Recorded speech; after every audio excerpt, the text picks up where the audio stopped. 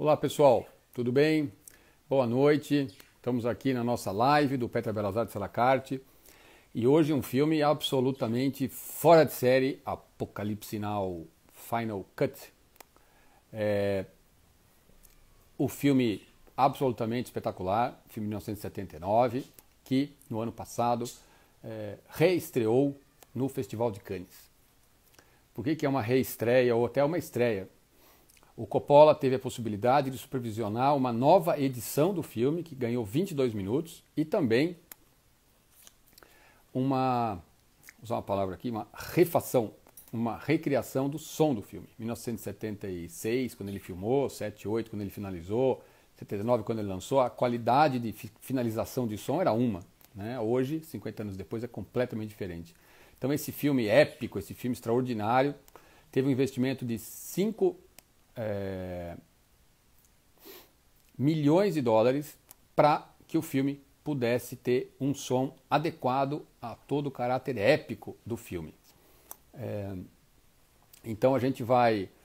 Nós compramos os direitos para lançar no Brasil e a ideia seria primeiro estrear nos cinemas e logo depois no streaming. Com essa situação que a gente está, pandemia, uh, os cinemas fechados, nós fizemos uma pré-estreia do Apocalipse Sinal no Drive-In, no Belas Artes Drive-In, no Memorial, e foi incrível. Em menos de 12 horas, as duas sessões se esgotaram, a gente ofereceu mais duas sessões, se esgotaram, as pessoas saem maravilhadas, e nós então resolvemos colocar o filme no streaming para que você, em qualquer lugar do Brasil, possa assistir, alugando aqui no Petra Belas Artes Selacarte.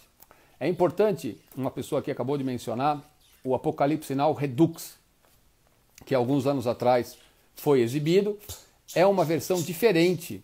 É, essa versão, Apocalipse Now Redux, não tinha todo esse investimento de som, era o mesmo som do filme original, e tinha 40 e poucos minutos a mais. Agora é uma edição que o Coppola considera a edição ideal, tem, portanto, o filme original com 22 minutos adicionais. É, eu mesmo acho que o Apocalipse Now Redux era longo demais, tinha uma sequência inteira, inclusive, que eu não, não curtia tanto.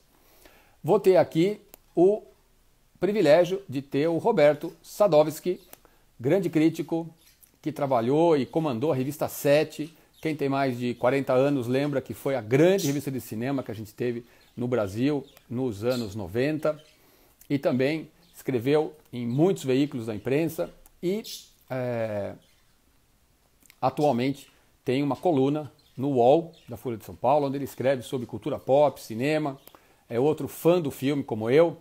E vou aqui então chamar o Roberto para, se eu não cometer nenhum erro,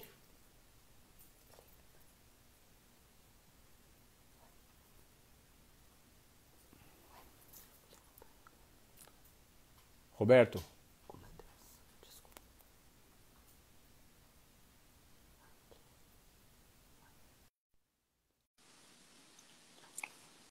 Bom, como sempre, dá algumas dificuldades aqui. Vocês sabem que eu sou uma pessoa brilhante no mundo da tecnologia, mas o Roberto deve. Opa! Tudo bem, Roberto? E aí, André, tudo bom? Tudo bem, e você? Tudo ótimo. Estamos aqui no, então, tá. na, nossa, na nossa quarentena, rodeado de coisas bacanas. É, tô vendo, hein? Uhul! Cheio de coisa bacana. Obrigado pelo convite, tá? É bem legal. Adoro falar de cinema com quem ama cinema também, então estou muito feliz em estar aqui. Maravilha. Eu fiz aqui um rápido, uma rápida introdução da, da sua incrível experiência no mundo do cinema, Revista 7, muitos outros. Mas, enfim, uh, o tema aqui hoje é Apocalipse Sinal, é um filme que é incrível, mas que, além do filme ser incrível, a história do filme é tão incrível quanto o filme, né? É um filme, é um filme problemático, né? Ele foi um filme que, que para sair do papel, foi, foi um, uma guerra, foi um parto foi troca de diretores, atraso nas filmagens, orçamento estourado, é, protagonista tendo um ataque cardíaco no meio da produção. Então foi, foi o caos, né? Até ele ser lançado e, e ainda não foi. É, quando foi lançado, ainda, ainda, recebeu muita crítica tal, até de fato é, o mundo reconhecer a genialidade do Coppola e o gênio que é, que é Apocalipse Sinal, que eu acho um dos melhores filmes de guerra de todos os tempos. É, é, eu sou apaixonado pelo filme, acho Acho não só um dos melhores filmes de época de todo o tempo, mas acho um dos melhores filmes de todos os tempos. Foi o filme Sim. que eu mais vezes assisti na vida. Tem algumas cenas que eu sei quase de cor. Boa noite aí aos amigos que estão chegando. Estamos aqui falando de Apocalipse Sinal com o Roberto Sadovski. Roberto, só antes da gente avançar, todos os dias, todas as vezes, a gente faz um sorteio. Hoje é qualquer pessoa que estiver assistindo, manda um comentário dizendo qual a sua cena favorita do filme. Algumas pessoas já mandaram. Você mande a sua, que a gente no final vai sortear Joseph Conrad, O Coração das Trevas, o livro que inspirou Coppola a fazer esse filme extraordinário. É... Mas, Roberto, começa aí. Quer falar do filme? Quer falar da história do filme? Conte aí um comentário. É, eu revi agora o, o Apocalipse Now, esse, esse, Final Cut. Eu estava ouvindo sua introdução e, e, eu arrisco que é minha minha versão favorita do filme também. Que é engraçado, né? O, o, o Coppola ele tinha tanto material para editar e, e talvez ele tivesse um, uma conexão muito grande com tudo que ele filmou. Tinha, tinha muito filme, tinha muita coisa que ele filmou, tinha muito detalhe. E talvez esse tempo todo, né, essas, essas quatro décadas quase que, que separam a filmagem dessa versão final, é, deram a ele o distanciamento que ele pôde enxergar a visão que ele acha que é a visão definitiva. Né? É, eu concordo contigo que a versão Redux ela talvez seja um pouco longa demais. É, tirar a segunda cena da, das colhinhas da Playboy acho que deu um pouco mais de, de agilidade ao filme, mantendo aquela primeira, aquela primeira cena. E, e, e, eu acho que todo o simbolismo e toda, toda, toda o, todo o subtexto que o Coppola quis colocar no filme, a gente consegue enxergar muito melhor nesse, nesse Final Cut. Acho que é uma versão muito mais completa, é, muito mais triste também. Eu, eu, o filme tem uma, tem uma melancolia. Engraçado, né? O filme tem um pouco de humor, de repente ele tem uma ultra violência que, que, que pega a gente de surpresa, de repente ele, ele mergulha na melancolia e, e, ele fica na cabeça. O filme acaba, tem cenas que a gente não consegue, não consegue chacoalhar. Principalmente o, o, o Marlon Brando, né? porque o fato de ele ter chegado ao set completamente acima do peso, visualmente de um jeito que o Coppola não esperava, é, e mantendo ele nas sombras, vestido de preto tal, é, amplifica a, a, a visão é, de, um, de um Deus na Terra que ele se colocava, né? essa, essa visão sobre-humana que o, que, o, que o Coronel Kurtz, é, talvez pela insanidade dele, talvez por, por todo aquele horror que eles viveram, ele quisesse imprimir. E, e essa restauração do Final Cut deixa a, a, a, fotografia do estourado tão, tão mais vívida, né? tão bonita. Então é um filme, além de tudo, lindo também. As cenas elas são plasticamente um absurdo. Então, acho que é a loucura que o Coppola queria traduzir na guerra. O próprio Coppola falou que, que Apocalipse Sinal não era um filme sobre o Vietnã, era o próprio Vietnã. Então, tudo isso que ele quis, que ele quis traduzir é, no filme, ele conseguiu finalmente agora, depois de 40 anos, descansar. Então, acho que ele. A gente sempre fala que o filme nunca é finalizado, ele é abandonado em certo ponto, né? Porque você tem que lançar o filme. Então, é. finalmente, o Coppola conseguiu, conseguiu abandonar o apocalipse dele e deixando esse legado, esse legado, legado com a gente. Com certeza, né? Como eu falei, o filme, a história do filme é um filme tão épico quanto o Apocalipse Sinal que a gente vê na tela, né? Essa história do Marlon Brando é, é emblemática. Quem assistir, a gente está lançando Apocalipse Sinal Final Cut e também está colocando à disposição dois documentários sobre Apocalipse Sinal. Um é o Apocalipse de um cineasta, que foi feito pela mulher do Coppola durante as filmagens, ela tinha total acesso, inclusive gravações de áudio que ela fez. E um outro que chama The Dutch Angle, o ângulo holandês, digamos assim, que é o fotógrafo Steele, que era um super fotógrafo, um fotógrafo que tinha acompanhado guerras, revoluções, que o Coppola chamou para ser o cara que fotografava. E há alguns anos foi feito um documentário com ele, inclusive ele está vivo ainda, é um cara muito interessante. Então a gente consegue acompanhar o que foi. E essa chegada no Marlon Brando, para quem o, o Coppola estava pagando um milhão de dólares por semana, para ele ficar 10 dias, o Marlon Brando chegou pesando, sei lá, 50 quilos mais, careca, Sim. que não estava planejado, é, e simplesmente não queria filmar, né? Não tinha decorado o texto, achava que o nome do personagem estava ruim, é, enfim, no Apocalipse de um cineasta, talvez seja uma das melhores partes tem uma cena que o, que o Marlon Brando senta com o Martin Sheen, fica conversando sobre filosofia, e aí a câmera está um pouquinho afastada assim, a gente vê o Coppola com as mãos na cintura, olhando, com uma cara assim de atônito, de o que, que eu faço, né? Cada segundo desse cara parado é 50 dólares. Agora, o que é impressionante é que com tudo isso de errado, como você mesmo disse, é perfeito o que aconteceu é no filme. É perfeito. Perfeito para o clima do filme, perfeito porque o Coppola queria queria dirigir, todo o caos é, e, e, os problemas de filmagem, os problemas de atraso, os problemas de roteiro, os problemas com a narração, os problemas com o Martin Sheen, que, que de novo, né, ele teve um colapso nervoso, sofreu um ataque cardíaco. Então, boa parte da narração do Martin Sheen não é a voz do Martin Sheen, é a voz do irmão dele, que tem a voz similar. Então, o próprio Coppola fala que ele não sabe onde é o Martin Sheen, onde é o Joe Sheen no meio, porque é, é, o Joe Esteves, né, o que é o sobrenome original dele, que, que é, é, tudo contribui para o filme ser o que ele é. Eu acho que todo filme genial, todos eles, sem exceção, eles são um acidente feliz. Então, sempre que a gente acompanha o making-of de um filme que a gente admira muito, você vê que, que tudo meio que estava programado para dar errado. E, e, e, todos os acasos do filme se juntam e, e, acabam numa coisa genial. Então, o lance do Marlon Brando tá, tá acima do peso. O lance é, do atraso das filmagens e o lance do dinheiro que estava indo embora. E o Coppola na falência, né? ele colocando o lucro dele do Poder do Chefão, junto com a produtora, junto com a vinícola, junto com tudo que ele podia para poder arrancar mais dinheiro da United e das produtoras para poder fazer com que a visão dele se tornasse a, a, a visão mais clara.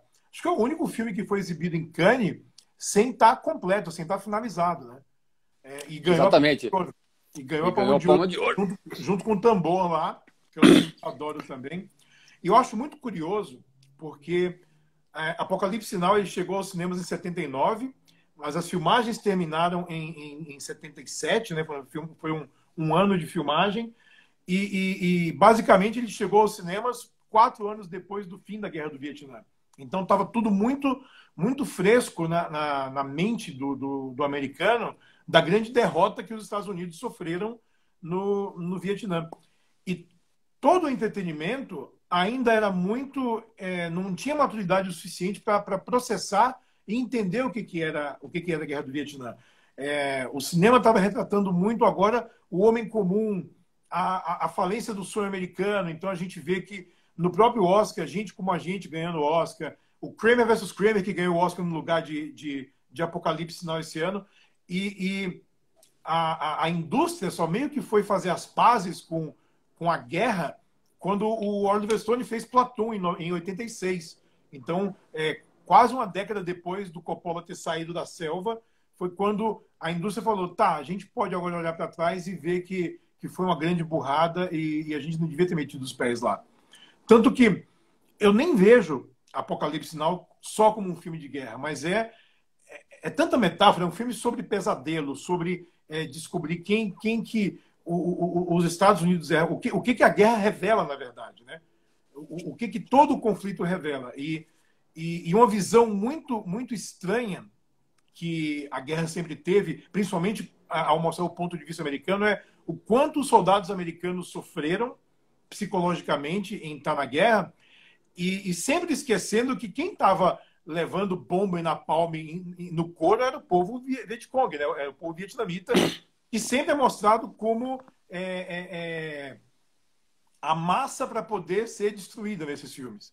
Então é, é, é, muito louco quando a gente vê Apocalipse Sinal hoje, e até hoje não sabe dizer se é um filme anti-guerra, a favor da guerra, qual, qual que era o do, o, o do filme. E, e, acaba ficando na interpretação de cada um. Né? O Coppola fala que ele não é um filme anti-guerra, ele é um filme anti-mentira.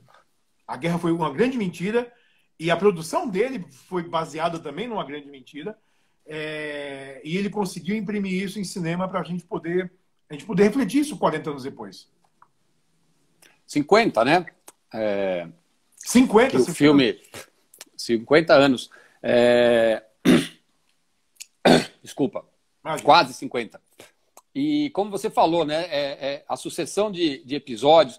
E isso, né? É, o que ele fez foi pegar um livro que justamente fala da loucura, né? não da loucura do manicômio, mas dessa loucura da absoluta e total falta de razoabilidade, que no Coração das Trevas é o Congo, que foi uma atrocidade incomparável com qualquer outro país onde houve escravidão. Né? O Congo é uma coisa.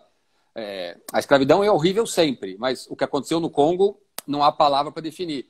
Que um cara que era um marinheiro, que era o Joseph Conte, ficou tão chocado que escreveu um livro. E o que o Coppola pega é a essência do livro, do livro. Em vez de fazer um filme passado no Congo, ele faz um filme passado num momento contemporâneo de loucura. Né? É, uma cena que eu acho emblemática disso é, que é uma das cenas mais faladas, mais conhecidas, quando o, coronel Kilgore, é, depois que ele manda bombardear, jogar o napalm, os helicópteros com a música das Valquírias, os caras surfam e tal, e aí ele tá ali sem camisa, né, com aquele chapéu, e ele olha assim e fala, porra, uma hora vai acabar a guerra. É, e, é, é muito nada, né? Tipo, ah, essa guerra vai acabar, tipo, agora eu vou surfar. É, é isso, assim, a gente tem que aproveitar, né? Então, assim, é, é a loucura total, mas é uma loucura que não é uma demência no sentido de falar coisa que não faz sentido, é a loucura do absoluto e total razoabilidade, né? E o eu, filme eu, é isso, né? Eu, eu acho que o Kilgore é, é, o meu personagem favorito do filme, bizarramente, porque é, parece que ele é o único que entende o que está acontecendo ali. Tipo, ó, oh, a gente está aqui para cumprir uma missão, a gente vai estourar isso aqui, a gente vai jogar bomba aqui, eu vou surfar, porque é o que eu vim fazer aqui, e o resto tá tudo bem. Então, ele tem uma aura tão de invencibilidade que parece que ele não vai morrer nesse conflito. Ele é o cara que, que vai explodir bomba do lado dele e nada vai acontecer com ele, porque ele entende exatamente qual é a da guerra. Então, todo mundo que vai com um, um mínimo de racionalidade para um conflito assim, perde. Então, to, todo mundo que acompanha o, o, o Willard, né, o Martin Sheen, no barco, todo mundo vai enlouquecendo aos poucos. Tanto o Lance, quanto o chefe, eles todos vão perdendo a razão aos poucos. O Kilgore não, porque ele entende exatamente o que está acontecendo ali. E eu acho que, que talvez é, é, é, nem o Coppola tenha entendido tanto o que, que ele o que, que ele estava entrando quando ele foi fazer esse filme, né? Até porque ele não ia dirigir o filme. Quem dirigiu o filme ia ser o George Lucas, que ficou, é. que ficou desenvolvendo o, o, roteiro com o John Milius por quatro anos. Queria filmar, inclusive, no meio da guerra. Uma coisa de cinema verdade, câmera na mão e tal. É, e não pôde porque foi filmar Star Wars depois, porque tanto tempo de, de pré-produção, e o Coppola que entrou para produzir falou, tá, já que ninguém tem tempo aí, eu vou, eu vou dirigir isso aqui. Então, e eu acho curioso que é uma geração muito jovem, todo mundo era muito jovem ali, o Coppola, o George Lucas, o John Milius, todo mundo era muito era muito muito cru no que estava entrando. E revendo o filme, eu revi ontem o, o Final Cut, é, eu fiquei pensando, jamais um filme como Apocalipse Sinal ia ser feito hoje. Ia ser tanta, tanta, tanta, é, tantas perguntas que iam ser levantadas pelo estúdio, pelos produtores, é, pelas associações que, que protegem, sindicatos que protegem é, a equipe e tal. É um filme que, que, que não tem muita, muita, muita lógica. E quando eu li que o Coppola se inspirou no Herzog, né, no Aguirre, A Colônia dos Deuses, eu falei, bom, é isso, né? Ele viu um louco e embarcou na loucura pessoal dele. E levou a família inteira junto. E levou o elenco inteiro junto. E levou a produtora inteira junto. É impressionante como a quantidade de gente que entrou no meio da loucura dele. Totalmente, né? É, aqui só para repetir, a Monique está perguntando, o nome do livro é Coração das Trevas, de Joseph Conrad, que o Coppola, é, não só o Coppola, mas o John Milius, o George Lucas, enfim, todos eles eram fãs, e que fala justamente no final do século XIX dessa loucura que era o Congo belga, e, e tem o Coronel Kurtz, e tem a missão de subir o Rio Congo, e aqui transposto para é, é, para a Guerra do Vietnã. E, e, essa coisa né, da, da, da, da, da, Bom, isso que o filme não seria feito hoje, não tem a menor dúvida, né? Seria Sim. totalmente. A não ser que ele pegasse o dinheiro dele e fizesse sozinho, mas mesmo assim eu acho que seria difícil, com todas as questões e politicamente corretos e etc. que a gente tem no país. E você falou, né, é, do personagem do Coronel Kilgore, que eu também, óbvio, eu gosto muito, é, e de que ele simboliza muito a guerra. E é impressionante, porque eu fui prestar atenção. Todo mundo aqui está falando dessa cena. É, você é o personagem preferido, é o meu personagem preferido. Eu tenho até uma camiseta com a, com a, com a foto dele, com a frase. E, enfim, ele aparece no filme 11 minutos. Sim, quase nada. Num filme que tem duas horas e meia, o cara aparece 11 minutos e ele foi indicado para o Oscar de ator coadjuvante, ou seja, ele é tão representativo da essência do filme que um personagem de 11 minutos se tornou ícone do filme, né? Tem gente que nem lembra do Martin Sheen, que é o personagem principal, mas não esquece do Coronel Kilgore, né? Ele é, ele é porque o, o, Robert Duval é um ator muito intenso também. Então, é, quando ele está em cena, ele engole todo mundo que está ao lado. O, o Martin Sheen parece um, um, molequinho perto dele. Eu entrevistei o Robert Duval uma única vez, quando ele fez um filme com o Schwarzenegger chamado Sexto Dia. E a última coisa que eu queria falar com ele era sobre o filme do Schwarzenegger. Eu queria falar sobre a carreira dele. Né? Mas, assim, tempo e correria e tal. Mas ele, ele é. Ele, é, isso foi já em 2000 e, 2000 e pouquinho. É, então ele estava lá, tipo, para trabalhar e, tipo, não enche meu saco, não quero falar de minha carreira, não. Vamos falar do, do que eu vim aqui para falar e, e, e, só. Mas foi, foi, foi um, dos, um dos únicos dois atores do filme que eu entrevistei, porque o outro foi o Lawrence Fishburne, que é uma outra história maluca, né? Ele tinha 14 anos, ele mentiu a idade para filmar e quando o filme foi lançado, ele tinha 17, que era a idade do personagem dele. Então, assim, é, quem é o maluco, o adolescente de 14 anos, que mente a idade para ir para o outro lado do planeta, filmar por meses com atores mega consagrados também, numa filmagem completamente é, pesada, né? É, para poder começar uma carreira. Então, eu admiro o Lawrence Fishburne. E eu, eu, eu falei com ele na época do Matrix, depois do Contágio, e eu perguntei sobre o Apocalipse Sinal, ele fala, é engraçado que não, não importa o filme que eu estou lançando, ou a época que eu estou fazendo isso, todo mundo tem uma pergunta de Apocalipse Sinal para mim fazer. Aí eu falei, mas é óbvio, você tinha, você tinha 14 anos quando você foi. Ele falou, é, eu menti e fui, eu acho que estava adequado com o filme. E no fim estava, né? Estava completamente é. adequado com, com aquilo lá. As filmagens foram tão doidas, né? Como você disse, a previsão era oito semanas, é, virou 16 meses de filmagem. E, por exemplo, tem uma cena do barco que eles estão, que eles param para pegar frutas e que é a cena que eles vão encontrar o tigre. Isso. Como está no trailer, eu não estou fazendo nenhum, nenhum spoiler. Essa cena, eles filmaram o Martin Sheen e o chefe saindo para buscar o, as frutas, o tigre e tal, e aí parou a filmagem. A cena deles voltando para o barco foi filmado, filmada exatamente 12 meses depois. Então imagina, gente, a loucura do personagem, do ator. Quer dizer, ele tem que voltar para uma cena que ele fez um ano antes. E é exata continuidade. E se você prestar atenção, dificilmente alguém percebe uma diferença. Porque essa loucura está tão presente que mesmo que tenha uma diferença, está tudo valendo. Porque outra cena também que tem a ver com isso é aquela cena em que o Martin desce à noite naquela tá aqueles tiros, parece fogos de artifício, que ele chega numa espécie de uma trincheira e fala: quem comanda aqui? O cara vira para ele e fala: não é você? Né? É outra cena também emblemática dessa loucura que está acontecendo naquele lugar, que não, não nada é o que parece ser. Era, era caos, era caos. Assim, é, os Estados Unidos eles, eles, vinham da vitória na Segunda Guerra Mundial, né, a melhor geração, então eles se achavam muito invencíveis, mas o mundo era outro. E o Vietnã era outra história. Então, é, sempre que sai um novo filme sobre a Guerra do Vietnã, ou um novo livro, ou uma nova coisa, alguém fala, ah, mas já não falou demais, não? Aí eu penso, cara, acho que falou de menos até.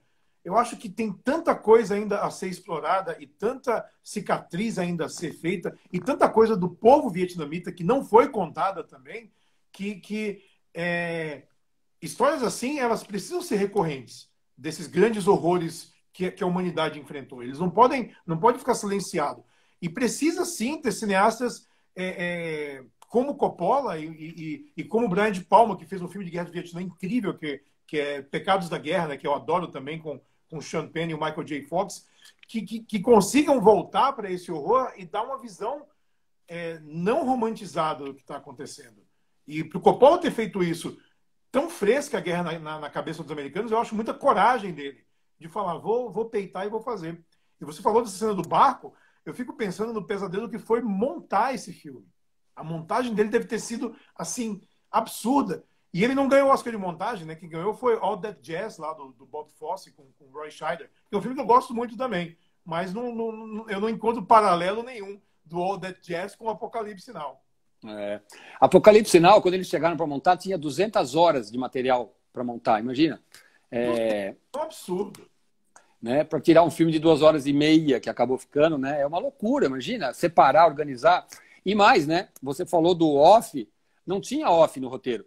Não. Quando eles foram montar o filme, começaram a trabalhar, eles viram que precisava de um off para juntar algumas coisas. E aí o Martin Sheen estava lá com seus problemas, e eles pegaram o irmão do Martin Sheen para fazer quase todo o off, né? E você não percebe a diferença praticamente. Jeito nenhum. Tem que ser é, porque os irmãos tinham uma voz muito parecida e o, e o, e o Joe Esteves caprichou nisso, né? Outra coisa também divertida, primeira cena do filme, a primeira cena do filme são os helicópteros com a música, mas aí tem aquela fusão para o ventilador de teto, a voz do Martin Sheen naquele hotel. E o Martin Sheen estava muito é, sensível, né? Ele tinha problemas com bebida e ele não estava desempenhando direito a cena. E aí pessoal da equipe encheu ele de cachaça. Sim. E ele se soltou, mandou deixar a câmera ligada. E tudo que acontece naquela cena, para quem não viu o filme ainda, ou para quem já viu e quiser ver de novo, tudo que aconteceu ali, aconteceu. Aquela hora que ele dá um soco no espelho, ele literalmente se cortou. O sangue que cai não é um sangue cenográfico, é o sangue ele... do Martin Sheen. Tem uma hora que o Martin Sheen pula em cima do Coppola, e aí tiveram que arrancar o Martin Sheen do Coppola. Enfim, então o filme tem é, até em muitos momentos, como esse e vários outros, um realismo é, curioso. Sabe que o Coppola convidou o Al Pacino para fazer o papel do Capitão Willard. Né? Eles tinham feito a, a Poderoso Chefão. E aí o Al Pacino falou, Coppola, eu te conheço. Tu tá dizendo que são seis semanas de filmagem? Vai virar 16 semanas, eu, eu num, num, num lamaçal e você num helicóptero gritando comigo. Não vou para essa filmagem. Não foi nem 16 semanas, foi 16 meses, né? É, o, o, Steve McQueen era o primeiro ator que ele queria, né, para ser o Willard. E o Steve McQueen foi o primeiro a falar: eu não vou. Não, não, não conte comigo nessa. Nick Nolte foi chamado também. É, é. Teve, teve uma, uma, uma, uma, galera que foi chamada, né? O, o, papel do Harrison Ford, mesmo que era um papel pequeno, o Steve McQueen ainda falou: eu faço esse, mas eu quero X. É. Não, e aí o George Lucas, que é brother, falou: ah, chama o, chama o cara que filmou Star Wars comigo. O cara é bom tal, faz faz com ele, que é uma cena pequena no começo do filme. Tem um monte é. de coisa assim que essa comunidade de atores é, dessa época, que, que é quando o, o, o sistema de estúdio já estava acabando e, e, e, o cinema já estava mudando, dando mais poder para os autores, né? A gente tinha de Arthur Hiller, a Scorsese, a Coppola, a Brian de Palma, a Hal Ashby, a George Lucas, a Spielberg, uma galera saindo da escola de cinema e, e começando a fazer cinema. Então, apesar de ter conexões com, com os grandes estúdios, era todo mundo muito moleque e muito sangue nos olhos, né? Vamos, vamos ver e vamos fazer. E, e, e os atores que trabalhavam com eles eram, eram quase uma trupe também. É, De Niro, Alpatino tal. E, e, é engraçado como, como o Martin Sheen ele é quase invisível nesse, nesse, nesse meio todo. Então, talvez por isso que a gente se identifique tanto com o, o Capitão Willard quando está vendo o filme, porque ele não era um astro. Ele tinha feito Badlands, né, com, com do, do, do Terence Malick também, mas ele não era o, o, o Al Pacino, ele não era o Denis, ele não era um desses grandes caras que estavam surgindo na época. É, então, talvez isso aj ajudou a gente a enxergar o personagem e não o, o astro que estava fazendo. É, por isso que eu acho tão legal quando o Marlon Brando aparece no final, porque é o Marlon Brando, e o Marlon Brando já tinha essa aura mítica é, em torno dele, e isso contribui para a gente enxergar no, no, no, Coronel Kurtz uma figura é, é, que pudesse ser endeusada, como o Marlon Brando. E, e a, a, reação que o, que o Martin Sheen tem quando vê o Marlon Brando pela primeira vez é, é, muito a nossa reação se a gente visse o Marlon Brando de verdade. Né? Ele tem uma certa reverência ao passo de que ele tem uma missão na cabeça, né? que é matar o Coronel Kurtz. Por sinal, pessoas, não é spoiler, tá? Um filme que já passou de quatro décadas, não tem mais spoiler nele. É, é... a gente comenta porque não tem mais jeito. Com certeza. E, e, e, de certa maneira, né, tem aquela hora que o isso que você falou tem tudo a ver, no sentido do Martin Sheen ser pequeno e o Marlon Brando ser o Marlon Brando. O Willard é um personagem que, embora seja o personagem principal, não é o personagem principal. Né? É. A história é em cima dele, mas ele não é tem personagens que são o, o Kilgore, enfim, vários outros, e o Marlon Brando, obviamente. que o Marlon Brando fala, o Coronel Kurtz fala para o Willard uma hora. Você é só um garoto de recados que veio cobrar conta do seu chefe. Ou seja, né? essa frase define muito a posição dos dois. Né? os adultos estão aqui, você é um garoto. É, fala aí, cumpre seu papel, mas não, não vem querer posar para cima de mim. Né? Oh, o, aqui uma, uma... O, Diga. O, o, Márcio comentou aqui né, que o Harvey Keitel chegou a viajar. Ele não só viajou, como ele filmou umas três, quatro semanas como Capitão Willard é, que não, não interferiu muito na filmagem no fim das contas, né, de, de refilmar algumas cenas, mas o Coppola olhou o material do Harvey Keitel e falou: você está muito, você quer deixar o seu, seu personagem muito mais nobre do que ele é. Ele não é nobre, né? Não, não atua nisso aqui. Seja o mais, o mais é, largado que puder. É um, é um cara largado no meio do inferno ali. E aí não, não colou o Harvey Keitel, que foi embora e, e voltou o Martin Sheen para a história toda. É, essa é uma, é uma história. A... Alguém aqui, tá... a Mona perguntou também sobre a questão do filme ter quebrado o Coppola. E é verdade, o Coppola é, hipotecou a, a, o vinhedo, todo o dinheiro que ele tinha ganho, a casa, enfim. E o filme a produtora, não teve. né? A American a produtora. Colocou, colocou. Tanto que ele, ele pediu dinheiro para o George Lucas, que tinha ganho uma fortuna com Star Wars, e falou, mano, me ajuda aqui porque a coisa, a coisa pegou. O Coppola, ele só se recuperou mesmo quando ele dirigiu Drácula. Isso já em 92. Então, ó, anos e anos e anos depois que, que, que ele demorou para se recuperar. E ainda assim ele falou: chega, eu vou cuidar do meu vinho, eu não quero mais saber de, de cinema. Tanto que ele tem um projeto, ele fez dois filmes pequenos nos últimos anos, é, e um projeto gigante dele, que é Megalópolis, acabou ficando só na ideia. Né? Diz ele que vai filmar um dia, mas nessa altura eu acho que ele está bem fazendo o vinho dele, ele está bem. Tá, eu acho que um cineasta, quando ele, quando ele atravessa uma filmagem assim, é, é muito difícil ele, ele, ele conseguir respirar e falar: vamos, vamos, vamos partir para outra aí. O próprio, o próprio Peter Jackson, né, quando ele fez O Senhor dos Anéis, que foram cinco anos da vida dele envolvido com todos os Senhor dos Anéis originais, quando terminou, ele falou: as pessoas ficam me perguntando o que, que eu vou fazer depois. Ele fala: eu, eu não sei, gente, eu só quero parar um pouco. Eu não, eu não tenho cabeça para pensar. Fez King Kong depois, mas na cabeça dele era férias. Preciso respirar. Porque é muito envolvimento em todos os pontos é, de uma filmagem. Ele está filmando com os atores, está preocupado com a produção e a montagem que vem depois, e a trilha que, que, que vem depois, e o lançamento, e o dinheiro, e os investidores, e o estúdio, e Cannes, e o filme que não fica pronto. É, é uma loucura na cabeça do, do cara.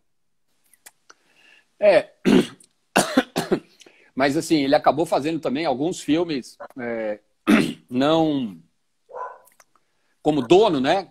Como contratado, que também, enfim, foi bom que ele precisou fazer, porque são filmes incríveis, né? Do, do final dos anos, dos anos 80, né? O cinema dele dos anos 80, que são filmes que ele fez contratado e que são incríveis e que a gente pôde aproveitar, né? É... Inclusive, ele, ele fez um filme para o George Lucas que eu adoro, que é Tucker, Um Homem em Seu Sonho, com, com Jeff Bridges, que eu acho um filmaço. E é um Coppola muito mais... O filme tem muita personalidade, mas ele está muito mais contido também.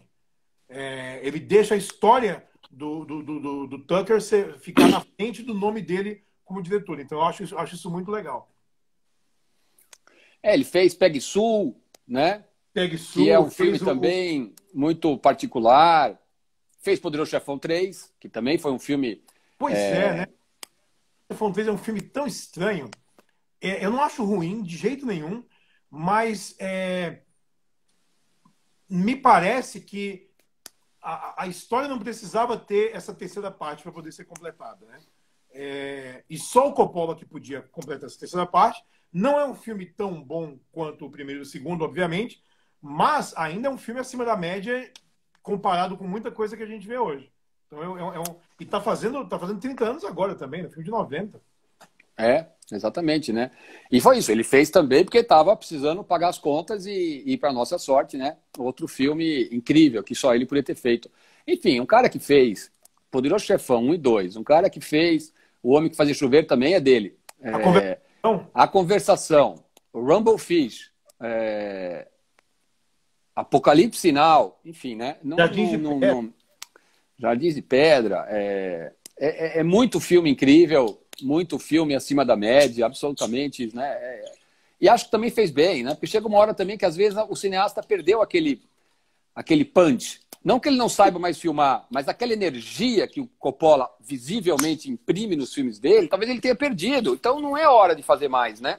Não, e, e, e também tem as, as pessoas mudam, né? É, é, como uma banda de rock quando lança um disco novo. Assim, o Pearl Jam lançou um disco agora, né? Depois de um tempo. Aí muita gente falou: Nossa, mas não parece o Pearl Jam. Eu falo, cara, eles estão nessa há 30 anos. Você não quer que a pessoa evolua e queira outras coisas e tenha outros interesses e olhe para histórias de outras formas. Então, que bom que eles evoluíram. Então, que bom que o Coppola deu toda essa contribuição é, incrível para o cinema e é um legado que vai ficar para sempre aí.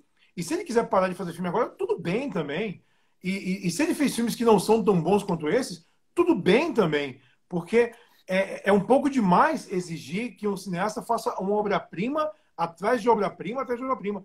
É, o, o, Scorsese, às vezes, ele faz uns filmes que, que ele dá uma relaxada e você, e você assiste e sente, tá, ele fez esse filme porque ele queria experimentar alguma coisa, experimentar uma linguagem, experimentar uma tecnologia, mas não é tipo o grande filme da carreira dele. E nem tudo precisa ser. Então, é, revendo a Lip Sinal agora, eu penso muito nisso, sabe? É, eu não preciso mais de novos filmes do Coppola. Se ele tiver mais filmes dentro dele que precise fazer, que bom. Quando o Terence Malick fez Além da Linha Vermelha, que foi 20 anos depois de fazer Dias do Paraíso, né, Days of Heaven, é, eu achei uma obra-prima. Eu saí do Além da Linha Vermelha extasiado. Os filmes que ele fez depois, nenhum mexeu comigo da mesma forma. Fosse O Novo Mundo, o, o Night of Cups, é, nenhum, nenhum teve aquele peso. Eu fiquei pensando, será que ele estava com, com, essa, com essa energia de fazer filme de novo? Ou às vezes o cara fala, beleza, eu estou conseguindo financiamento, está entrando para mim para poder fazer, eu vou tirar os filmes da frente que eu, que eu posso tirar agora. Mas às vezes não era o momento dele como artista de fazer também. Então, se, se o Coppola quiser fazer o Megalópolis um dia e a, a, a vontade para fazer, que faça. Ó, o Scorsese está ralando de novo para fazer o filme novo dele, né? O, com o DiCaprio e o, e o, e o Robert De Niro. Não consegue estúdio para bancar, a Apple talvez banque, está indo pegar dinheiro na Netflix de novo. Aí eu penso, o Scorsese não consegue dinheiro para fazer um filme novo. Então, tudo bem, sabe? Deixa ele fazer do jeito dele, no tempo dele, do, da, da, forma que ele quiser. Não é um pasteleiro que está fazendo um filme. É um artista que tem uma voz.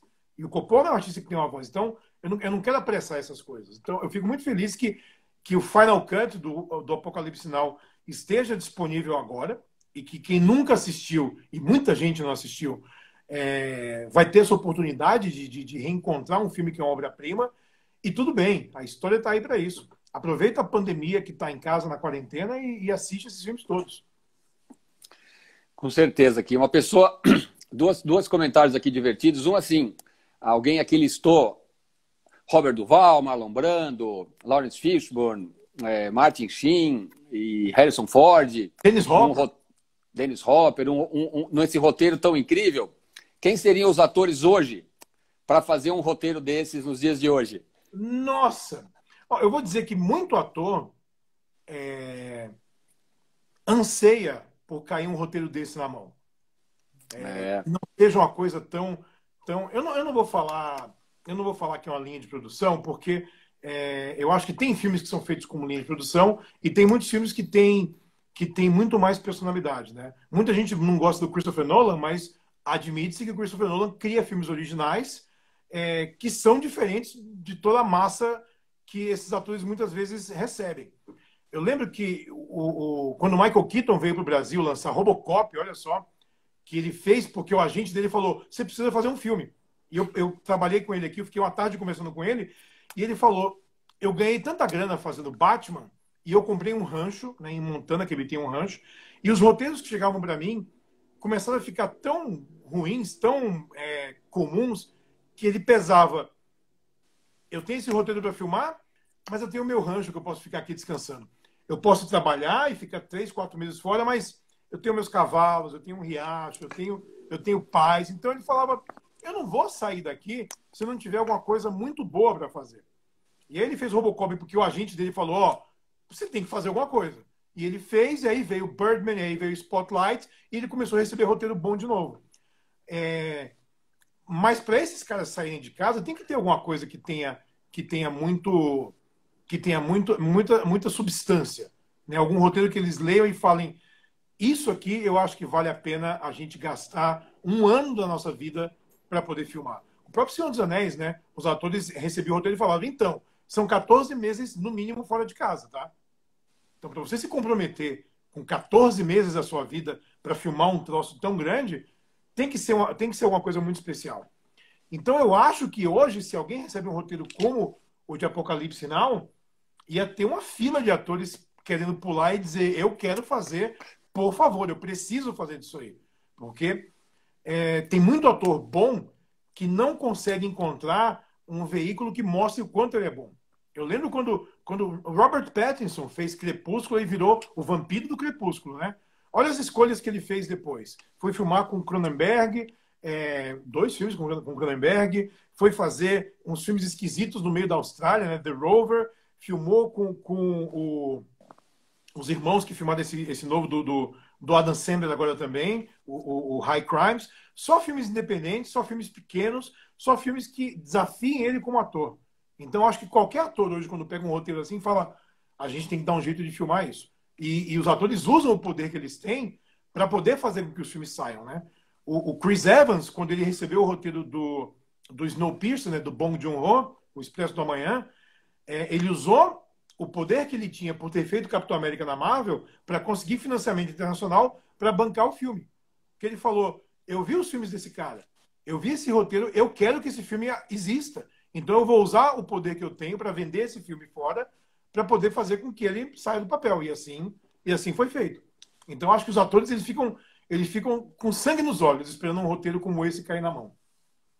Ah, com certeza, com certeza. Ia ser difícil, né? É claro que ficar aqui supondo quem poderia fazer nos dias de hoje os papéis principais de Apocalipse Sinal é, é, é tá até para chutar aqui alguns, mas enfim, pensando é em Marlon Brando, pensando em Dennis Hopper, pensando nessas pessoas, assim, a comparação sempre vai ficar prejudicada para o sucessor. Então, Total. cada um aí imagine os seus e porque é isso, né? É, é, o, o Roberto falou no começo que muitos filmes incríveis filmes geniais, tem, é, deram certo porque tinha tudo para dar errado. Né? Apocalipse Now é isso. Veja, veja o making off que vocês têm a chance de ver agora. A gente pode falar aqui de Casablanca, que é um dos filmes mais icônicos da história do cinema. Tranquilamente deve ser um dos dez filmes mais icônicos da história do cinema. Pode até não gostar muito, mas assim, todo mundo sabe que tem Casablanca. O Humphrey Bogart, que ele fala Play it again, Ray. Enfim, é, é icônico. É, esse filme não tinha roteiro pronto que não começou a rodar. É, é, o roteiro ia sendo feito e eles iam fazer o filme. A, a, a Warner tinha botado um dinheirinho, era filme para tapar buraco de programação. E aí pff, virou essa coisa gente fora de série. Então, é, Blade Runner é outro filme também, que o estúdio ficou deprimido com o filme pronto, não queriam nem lançar, mandaram mexer, e virou ícone da história. Enfim, tem vários outros casos, né? Uma pessoa aqui também falou, só para. A gente vai sair do Apocalipse um minuto, mas como você mencionou o Brian de Palma, é, uma pessoa que falou, Brian De Palma é um cineasta que perdeu a mão, né? O que, que você acha disso? Ó, oh, eu, eu não sei se ele perdeu a mão. É que eu estou tentando ver aqui qual foi o último filme do que o Brian De Palma fez. O, o, o Brian De Palma é outro, é outro cineasta que ele tinha uma pegada completamente diferente do, do, do Coppola, era um outro tipo de cinema. É, a, a, as influências do Brian De Palma eram muito mais, eram muito mais Hitchcockianas. Ele, ele queria muito construir mais mais é, thrillers urbanos, é, e a palavra é, é, sleazy em inglês, né? É, é uma coisa meio suja, era, um, um, um, um, lado do sonho americano que ninguém gosta muito de, de, de olhar. Mas eu acho que, que. Não sei se ele perdeu a mão. Ele, o último filme dele grande foi o quê? Redacted. É, desde o filme Fatale, Dália Negra, que não é um filme tão bom assim. Redacted não é um filme tão bom assim. Passion não é um filme tão bom assim. Eu sempre dou o benefício da dúvida para diretores assim, porque eu acho que eles já, eles já, já contribuíram para o cinema de uma forma tão, tão absoluta.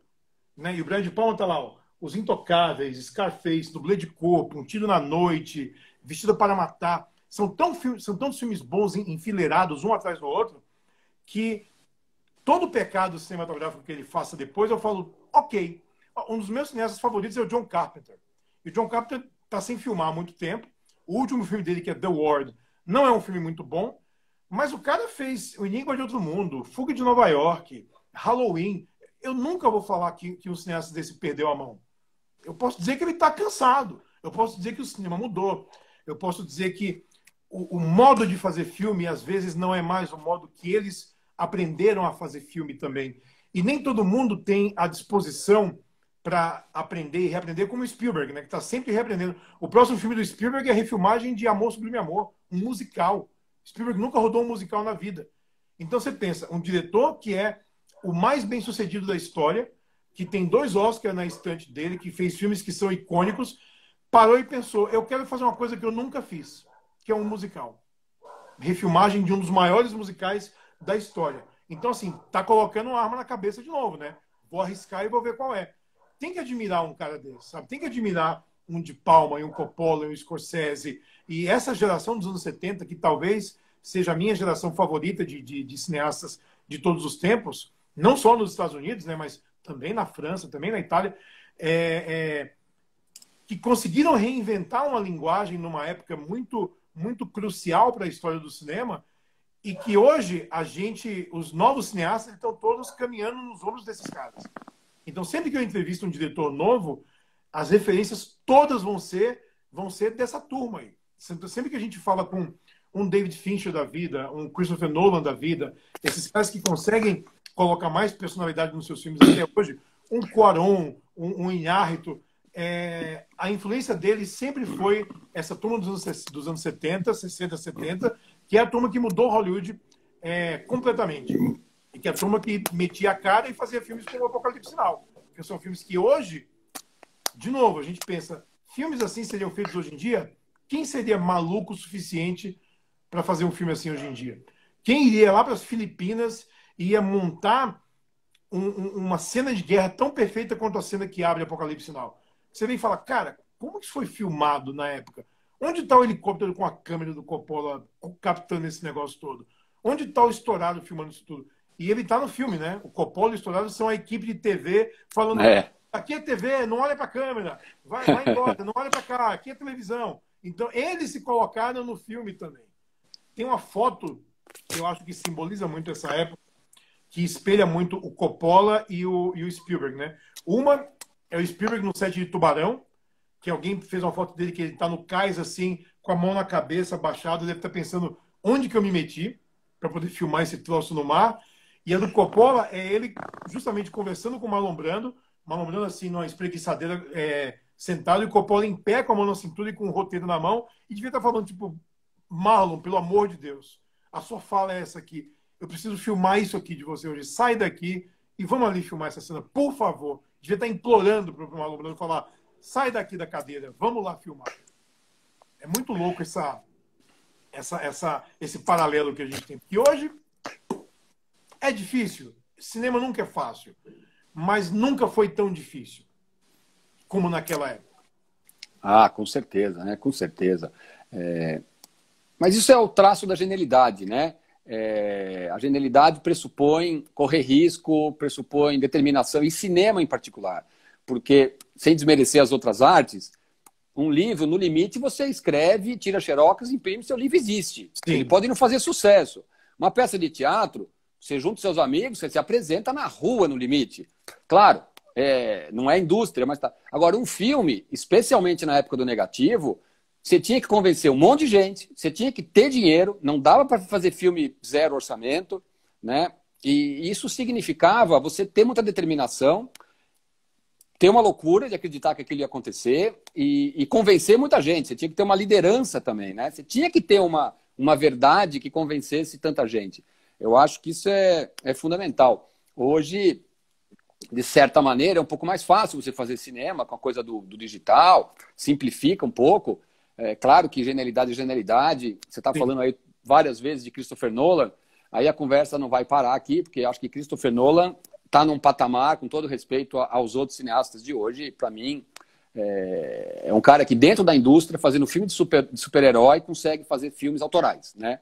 É, não, e, e, também, é, eu, eu, eu, aqui tomo a ousadia de comparar o Christopher Nolan, para mim, é o Kubrick dos dias de hoje. Porque ele também é o cara que fala assim: vou fazer um filme de ficção científica. Ele vai lá e faz Interestelar, né? Agora vou fazer um filme de guerra. Ele vai lá e faz Dunkerque. Vou fazer um filme de super-herói. Super ele vai lá e faz os dois Batman, que são o, o, o Batman do Coringa é um escândalo de cinema, né? Ou seja, ele é o cara que, ao contrário do Tim Burton, Tim Burton, Tim Burton, um minuto de filme, você fala, é o Tim Burton. Ele é incrível para fazer filme de Tim Burton. O, o, o, Nolan não. Você em um minuto não sabe que é um filme do Christopher Nolan, mas no fim do filme você sabe, porque você viu um, um espetáculo de cinema, né?